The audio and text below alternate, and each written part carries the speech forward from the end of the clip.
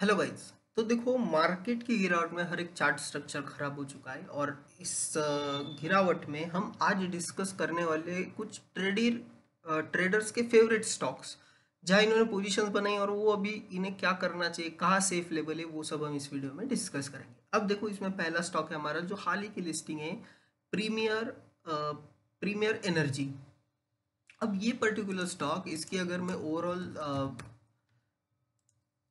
बात करूँ तो forty three thousand six hundred seventy crore की मार्केट कैप काफ़ी अच्छी कंपनी एक स्ट्रॉन्ग कंपनी है ये। और इसमें ग्रोथ भी अच्छी मेरे हिसाब से, और आप देख सकते हो प्रीमियम एनर्जी मतलब ये सोलर पैनल से रिलेटेड कंपनी तो इसमें ऑलरेडी प्रीमियम अच्छे है। और प्रीमियम मतलब ये इसकी जो वैल्यूएशन है अच्छे वैल्यूएशन पर ट्रेड कर रहा है। अब मेरे हिसाब से इसमें करना क्या चाहिए? तो एक हमें क्लियर एक बॉटम नज़र आ रहा है तो अगर ये कंपनी अगर ये लेवल के ऊपर जब तक है, तब तक इसमें सेफ़ है और ये मतलब तब तक ये ठीक है और ये चलना कब स्टार्ट करेगी? जब ये लेवल के ऊपर चली जाएगी मतलब वन ज़ीरो सेवन टू के आसपास जब ये चली जाएगी, तब ये कंपनी सेफ़ होगी, तब तक नहीं।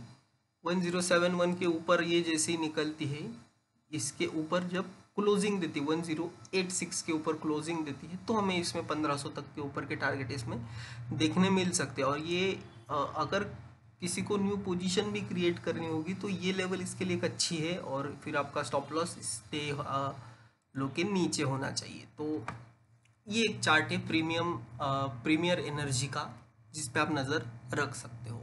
दूसरा ट्रेडर्स फेवरेट है, ये है आईआरएफसी आई में बहुत लोगों ने पोजीशन लेके रखी है और आई आर एफ़ सी का चार्ट भी खराब हो चुका है गोल्डन क्रॉस और फेल हो चुका है। यहाँ पे आई आर एफ़ सी का चार्ट काफ़ी ख़राब है। अब इसके लिए जो इम्पोर्टेंट सपोर्ट बचता है, वो सिर्फ़ और सिर्फ़ 134 का है। अगर ये लेवल टूटता है 134 का तो फिर यहाँ से हमें डिप देखने मिल सकता है। 134 की इम्पोर्टेंस क्या है? ये देखो 134 इम्पोर्टेंस क्या है इस लेवल की? तो ये कंटिन्यूसली यहाँ से इसने सपोर्ट लिया है। ये देख सकते हो, यहाँ से एक बार सपोर्ट लिया यहाँ से सपोर्ट लिया यहाँ से घुमाए, यहाँ फिर से घुमा है तो अगेन ये टेस्ट करेगा और फिर एक तो ब्रेक कर जाएगा, नहीं तो फिर यहाँ से एक रैली ऊपर की तरफ़ ये आई कर जाएगा। तो 134 इसके लिए इंपॉर्टेंट लेवल है, अगर 134 के आसपास आप बाइंग भी करते हो तो आपका स्टॉप लॉस ये नीचे के लेवल का होना चाहिए मतलब ये जो पर्टिकुलर लेवल है वन वन सेवन इसका स्टॉप लॉस आपका होना चाहिए। तो सी एक स्टॉक ऐसा है कि जिसे आप होल्ड करके चल सकते हो लॉन्गर रन में। ठीक है?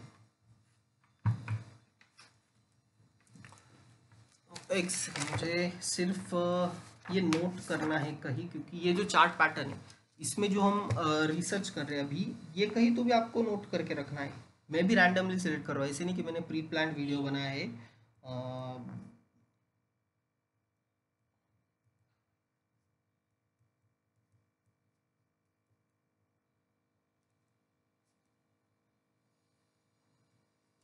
प्रीमियर एनर्जी का हमने क्या डिस्कस किया था? वन डे चार्ट पे। ये जो है इसके लिए इम्पोर्टेंट लेवल क्या हो जाएगा? 925 and then 802 925 S L eight zero two ठीक है? तो आई आर एफ़ सी और प्रीमियम एनर्जी हमने डिस्कस किया। नेक्स्ट स्टॉक हमारा होगा इसमें R V N L R V N L भी बहुत लोगों ने आर वी एन एल लेके रखा है। बट आर का भी स्ट्रक्चर अभी अभी के लिए अच्छा है, मैं कहूँगा इसके लिए इंपॉर्टेंट लेवल ये फोर वन ज़ीरो का ही है। फोर वन ज़ीरो पर ही इसका सपोर्ट आ रहा है और इसका स्टॉप लॉस बैठ रहा है three seventy five like four zero nine इसके लिए स-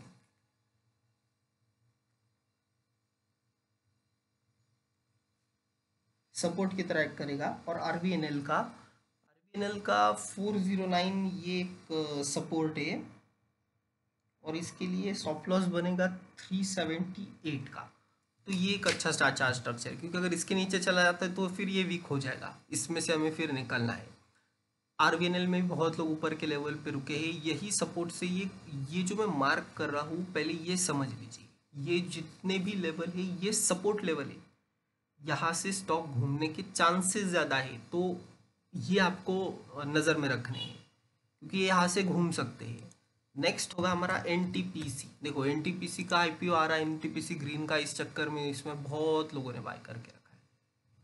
और इसका चार्ट स्ट्रक्चर अभी काफ़ी ख़राब है एनटीपीसी का। मैं कहूँगा ये 361 और ये बहुत स्ट्रॉन्ग सपोर्ट है। मतलब 361 355 ये ले, रेंज में अगर आता है तो यहाँ से एक स्ट्रॉन्ग बाई हमें देखने मिल सकती है। तो एनटीपीसी भी एक स्टॉक ऐसा कि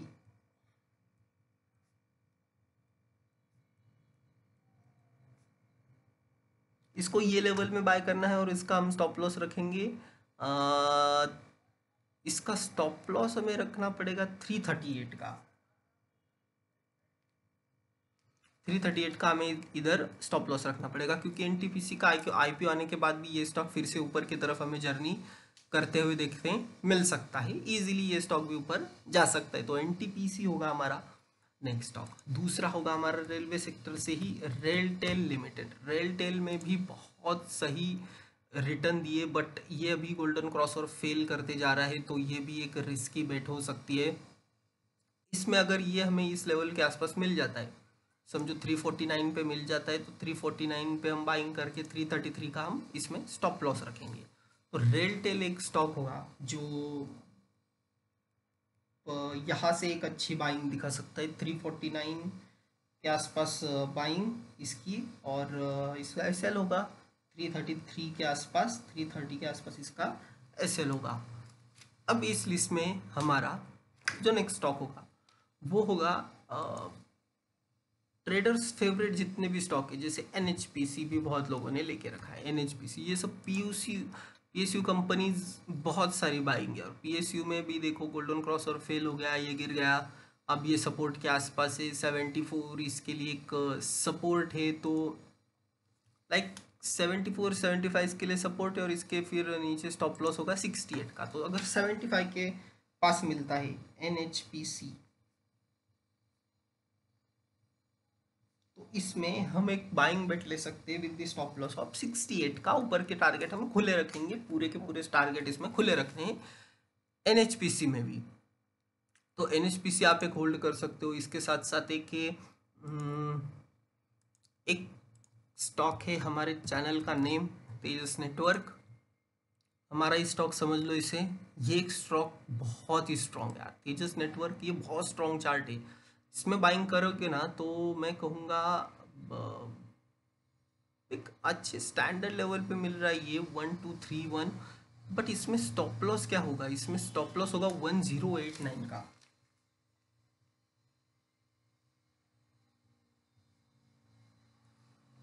इसे बाइंग का लेवल हमें देखना है वन टू फाइव ज़ीरो और इसमें हम एस एल रख के चलेंगे वन ज़ीरो एट नाइन के आसपास का इसमें एस एल रखना है। तेजस नेटवर्क ये एक अच्छा स्टॉक है जहाँ हमें आने वाले टाइम में बाइंग देखने मिल सकती क्योंकि ये चार्ट स्ट्रक्चर अच्छा है, इसके टारगेट सीधा दो हज़ार है तेजस नेटवर्क के। इसे बिल्कुल भूलना नहीं है, ये स्टॉक बाद में हाथ में भी नहीं आएगा, मैं कह रहा हूँ, ये स्टॉक बाद में हाथ में भी नहीं आएगा, ये बहुत स्ट्रॉन्ग चार्ट है। हालाँकि इसमें डबल डबल टॉप बना है बट चार्ट अभी भी इसका स्ट्रांग है।